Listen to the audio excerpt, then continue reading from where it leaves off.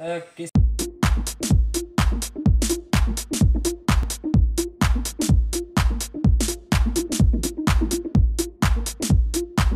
Halo bosku, ketemu lagi ya. Eh, tentunya sehat semua ya, Eh, sobat kopi, teman-teman kopi.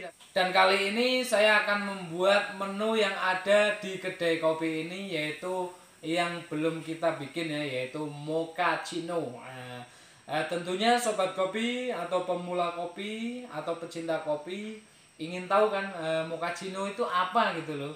Eh, di situ ada mochaccino hot, mochaccino es ya kan ada latte es, ada cappuccino yang di video sebelumnya ada eh, tutorialnya juga eh, pe- perbedaan antara latte dan eh, cappuccino dan kali ini eh, saya akan bikin eh, mochaccino ya.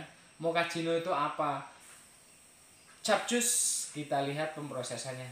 Eh, teman-teman, eh, kita sediakan gelasnya ya. Dan di sini kita menggunakan coklat ya, coklat bubuk ya. Kita takar coklat eh, kisaran 5 gram atau 6 gram ya, secukupnya nah, di situ. Eh, dan kenapa kok mochaccino itu ada coklatnya? Nah, itulah karena mochaccino itu adalah kopi coklat ya. Eh, perpaduan antara kopi espresso dengan coklat.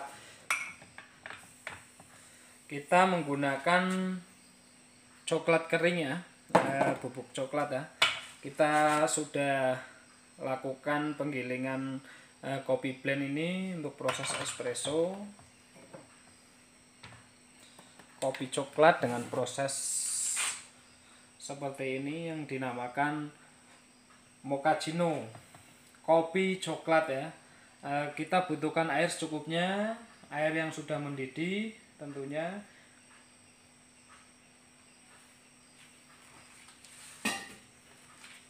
Kalau kita tar ya, kita gunakan air eh, espressonya eh, seperti kita lakukan 30 ml ya.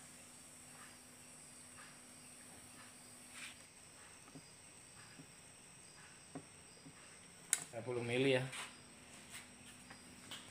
Lalu kita maskering ya biar rata, biar merata antara espresso dan coklatnya nanti eh, kita proses untuk mochaccino hotnya ya. Eh, teman-teman bisa request untuk menu-menu yang ada di kedai kopi eh, apa aja di situ bisa request di kolom komentar ya tentunya ya eh, buat teman-teman harus dipahami juga untuk maskering yang benar kita kodek sampai rata ya nanti biar hasilnya untuk gambarnya juga cakep dan rasanya tentunya sesuai dengan yang diinginkan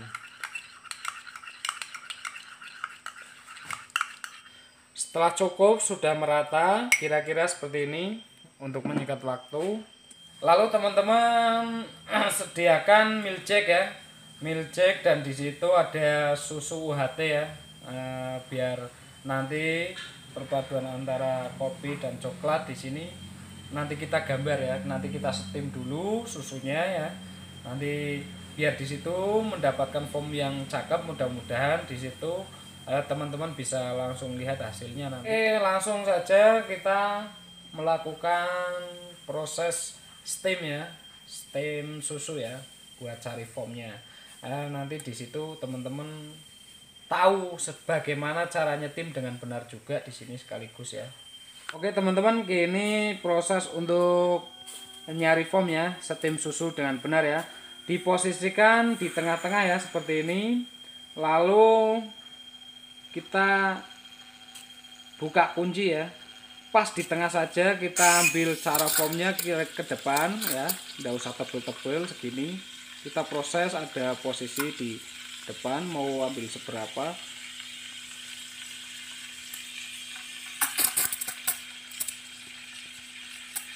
Untuk mencari posisi untuk menghaluskan foam ketika foamnya kurang halus kita geser ya untuk posisi ke tengah ya.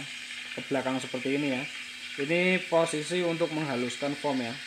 Ini kita cari tipis saja ya cari aman.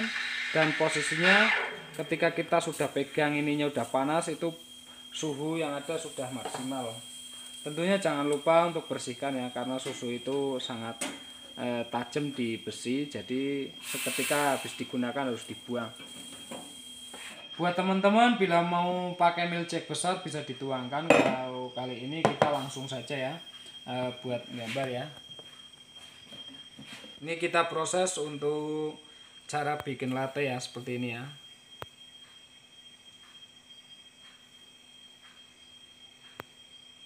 Kalau ketika sudah seperti ini mungkin kita langsung tuangkan saja seberapa keinginan kita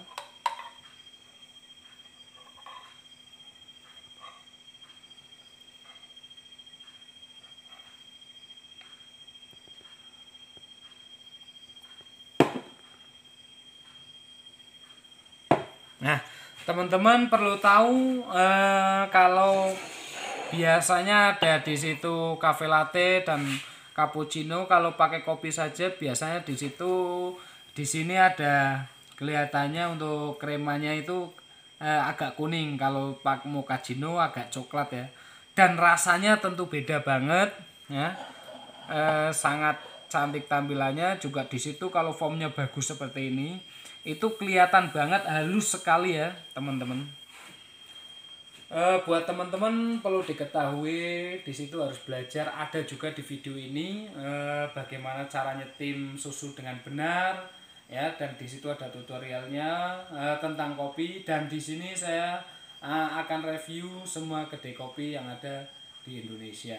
Makanya jangan lupa uh, dukung support channel kami ya uh, di selain uh, teman-teman itu mengetahui tentang cara bikin kopi dan di situ akan mengetahui ada berapa sih di Indonesia itu ada kedai kopinya dan uh, kita akan datangi satu persatu. Uh, makanya tetap support channel kami ya. Oke kita ketemu lagi di video yang akan datang. Sampai ketemu